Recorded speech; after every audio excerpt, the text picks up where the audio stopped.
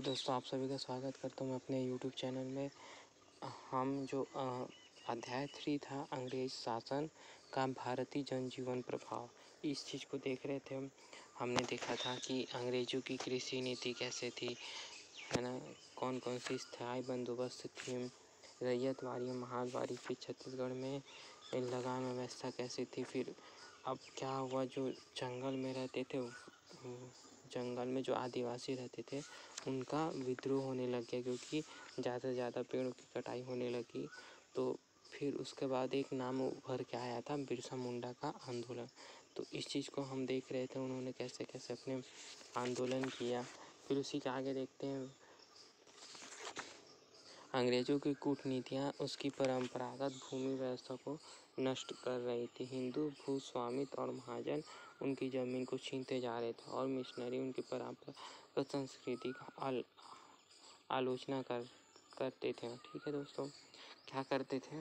उन, जो हिंदू स्वामी है और महाजन जो है, उनकी ज़मीन को क्या करते थे? छीनते थे। हिंदू स्वामी और महाजन की ज़मीन को छीनते थे और उनकी परंपरागत संस्कृति का आलोचना करते थे।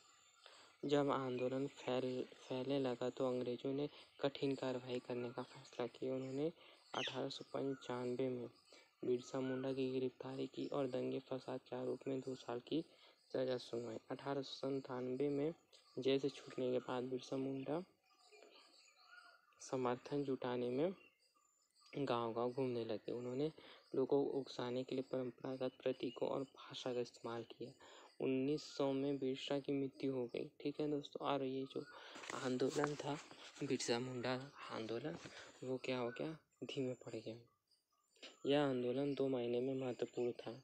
एक, पहला, औपनिवेशिक सरकार को ऐसे नियम लागू करने के लिए मजबूर कर दिया, जिसके ज़रिए दीकू लोग आदिवासी की ज़मीन पर आसानी से कब्जा ना कर सके।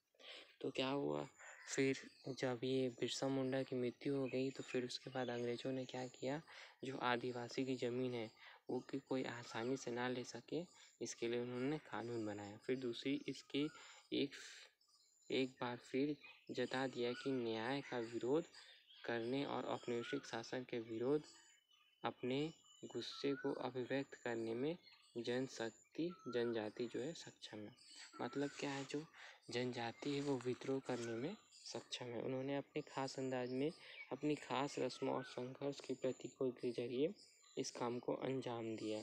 मतलब अपने खास अंदाज में और अपने खास रस्मों में वो उन्होंने इस चीज़ को अंजाम दिया। फिर उसके बाद देखते हैं दोस्तों छत्तीसगढ़ का प्रमुख आदिवासी विद्रोह। आप क्या देख रहे हैं हम? छत्तीसगढ़ का आदिवासी विद्रोह। कि कौन कौन से छत्तीसगढ़ में आदिवासी विद्रोह हुए? क्या होता था जब वनों की जगह ज़्यादा से ज़्यादा कटाई होने लगी तो फिर ये आंदोलन शुरू होने लग गया। फिर इस समय जब पूरे भारत में जनजाति आंदोलन का आग की तरह फैली हुई थी, तब छत्तीसगढ़ भी अछूता नहीं था। छत्तीसगढ़ राज्य में अठारहवीं शताब्दी के उत्तरार्ध से लेकर बीसवीं के पूर्वार्ध तक अनेक जनजाति विद्रोह हुए। जनजात, ज़्यादातर जनजाति विद्रोह बस्तर क्षेत्र में, जहाँ जनजाति अपनी अस्मिता की रक्षा के लिए विशेष सतर्क थे। इन विद्रोह में एक सामान्य विशेषताएँ थी। क्या क्या विशेषता थी? ये सभी ये सभी जन विद्रोह जनजातियों को अपने निवास क्षेत्र, देखो निवास क्षेत्र, भूमि, वन हासिल परंपरागत अधीनों, अधिकारों को छीन जाने के विरोध में थी, ठीक है? ये विद्रोह जनजाति अस्मिता और संस्कृति के संरक्षण के लिए थी। फिर तीसरा, विद्रोह में नई शासन व्यवस्था और ब्रिटिश राज द्वारा थोपे गए नियम और कानून के खिलाफ था। फिर जनजाति मुक्ता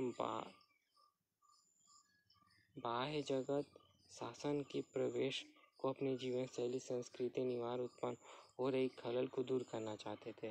और वो क्या करना चाहते थे कि मतलब जो उनकी शैली, संस्कृति में जो अंग्रेज़ों ने खलन किया, उसको वो दूर करना चाहते थे। फिर उन्हों, उल्लेखनीय बात यह है कि मूलतः जनजाति के द्वारा आरंभिक विद्रोह छत्तीसगढ़ के गैर आदिवासी भी भागीदारी बने। मतलब छत्तीसगढ़ के जो बाहर के आदिवासी थे वो भी इस आंदोलन में भाग लिए। फिर उसके बाद देखते हैं दोस्तों, देखो ये क्या है, हलवा विद्रोह। हलवा विद्रोह क्या होता है? हलवा विद्रोह अजमेर सिंह ने किया था, जो बस्तर के राजा से मुक्त एक स्वतंत्र राज्य की स्थापना करना चाहते थे। हलवा जनजाति व सैनिक का समर्थन प्राप्त था। कुर्ता से दमन किया गया था नरसंहार बहुत व्यापक था, केवल एक हल्बी विद्रोह अपनी जान बचा के बात, भाग बचा सका ठीक है दोस्तों, फिर इस विद्रोह के फलस्वरूप बस्तर मराठों को उस क्षेत्र में प्रवेश का अवसर मिला, जिसके स्थान बाद ब्रिटिश ने ले लिया। फिर उसके बाद परलकोट विद्रोह परलकोट विद्रोह किसने किया? परलकोट विद्रोह मराठा और ब्रिटिश सेनाओं के प्रवेश के विरोध में हुआ। ये गेंसी ने किया। इस परलकोट विद्रोह को गेंसी ने किया अंबुजमार का पूरा पूर्ण समर्थन था। फिर मराठा शासन द्वारा लगाए गए कर को इनकार कर दिया और बस्तर नियंत्रण स्थापित करने की कोशिश की। फिर तारापुर विद्रोह आता। है तारापुर विद्रोह क्या था? ये भी संस्कृति को बचाने के लिए था। अपनी सामाजिक, आर्थिक, राजनीतिक संस्थाओं को कायम रखने के लिए था। फिर माड़िया विद्रोह भी सरकारी नीतियों को, नीतियों द्वारा जनजाति आस्थाओं को चोट पहुँचाने के लिए था। और नर प्रथा प्रथा मतलब माड़िया जनजाति लोग अपने, जो हर साल अपने आप को बलिदान कर देते थे। यह विद्रोह बीस वर्षों तक चला। फिर उसके बाद आया अठारह सौ संतावन का विद्रोह। अठारह सौ संतावन के विद्रोह में दक्षिण बस्तर, ध्रुव राव ने ब्रिटिश सेना का जमकर मुकाबला किया। माड़िया जनजाति के डोरला उप जनजाति थे। उन्होंने जनजातियों को पूर्ण समर्थन किया। फिर कोई विद्रोह हुआ? कोई विद्रोह में कौन था?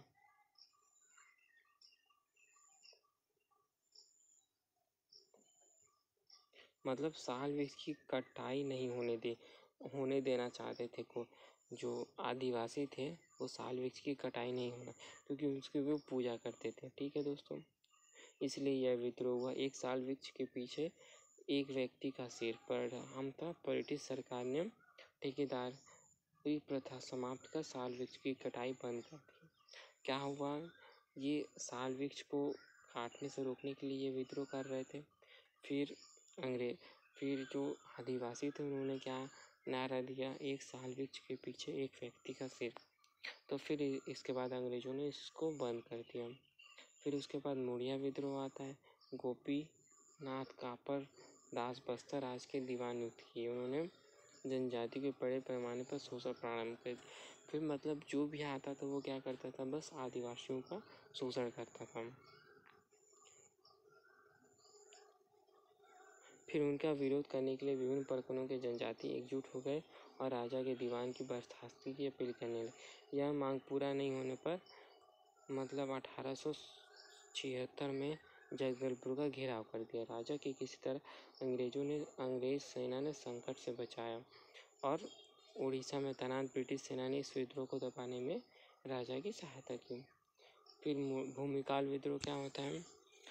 1910 में 1910 में जो भूमिकाल विद्रोह का सबसे महत्वपूर्ण व्यापक विद्रोह था, इसमें क्या था? इसमें बस्तर के चौरासी में से छियालीस परगने अपनी चपेट में आ गए थे फिर जनजाति वनों पर अपने पारंपरिक अधिकार व भूमि एवं अन्य प्राकृतिक साधनों के मुक्त। फिर आगे देखते हैं दोस्तों, जनजाति वनों पर अपने पारंपरिक अधिकार व भूमि एवं अन्य प्राकृतिक संसाधनों के उपयोग तथा अधिकार के लिए संघर्ष थे। ठीक, फिर उसके बाद 1908 में जब यह आरक्षित वन क्षेत्र घोषित किया तो वन उपज के दोहन पर नियंत्रण लागू किया गया। क्या हो गया फिर 1908 में मतलब अंग्रेज़ों ने जो पेड़ पौधे उनको आरक्षित कर दिया कि इनको कोई नहीं काटेगा। तो जनजातियों ने इसका विरोध कर दिया। अंग्रेज़ों ने एक और तो ठेकेदारों को लकड़ी काटने की अनुमति दे दी, दूसरी ओर जनजातियों के द्वारा बनाए गए इस शराब का उत्पादन को अवैध घोषित कर दिया। अब क्या क्या हो गया? जो अंग्रेज़ों ने क्या किया? एक तो जो आरक्षित वन से उससे कोई आदिवासी पेड़ पौधे नहीं काट सकता है और दूसरा, जो वे शराब बनाते थे, उसको अवैध घोषित कर दिया।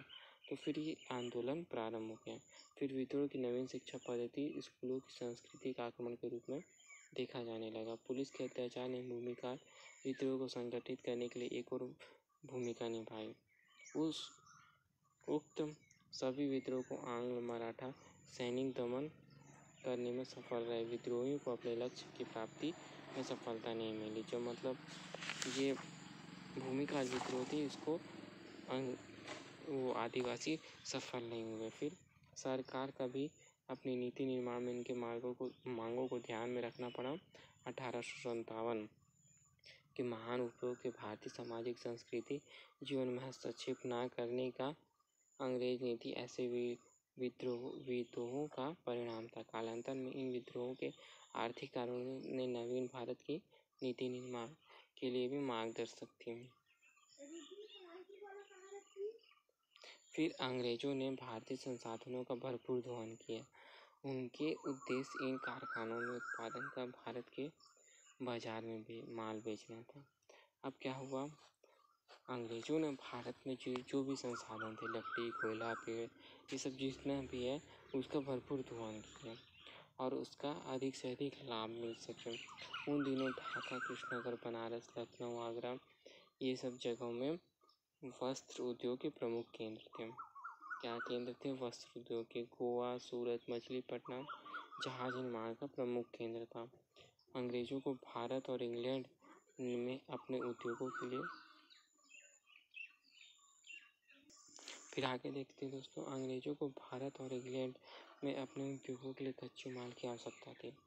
अंग्रेज़ों को भारत और इंग्लैंड में उद्योगों के लिए किसकी आवश्यकता थी? कच्चे माल की आवश्यकता थी। इसे ध्यान रखना कि विभिन्न बंदरगाहों को जोड़ने वाली सड़कों का निर्माण सुधार किया गया। भारत में रेलवे की शुरुआत की गई। एक क्रांतिकारी परिवर्तन तथा संचार और परिवहन के साधनों के विकास से देश के लोग एक दूसरे से संपर्क में उन्होंने एक दूसरे की भावनाओं को समझा। उन्होंने राष्ट्रीयता की भावना बढ़ी। और अठारह सौ तिरपन भारत में टेलीग्राम सुविधा प्रारंभ और डाक व्यवस्था सुधार कार्य किए गए। फिर उसके बाद शिक्षा पर प्रभाव।